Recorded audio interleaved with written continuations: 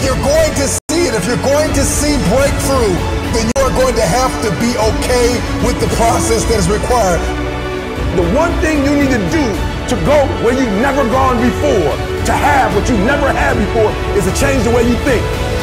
You're at the edge, watching someone else live, wondering what it's going to be like when you jump without ever jumping. And I'm just here to tell you, jump. Believe that you can. Believe it's possible for you to have it.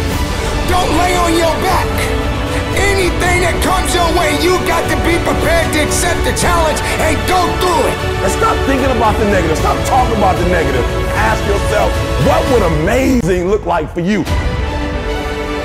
As long as that heart is pumping blood, you're not dead yet.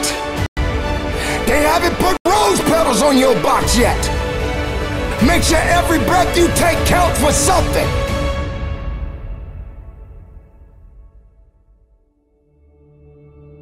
Continue to pursue purpose.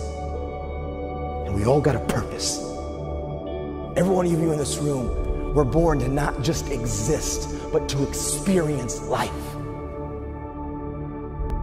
Every one of you in this room, you were born to leave your fingerprints on history.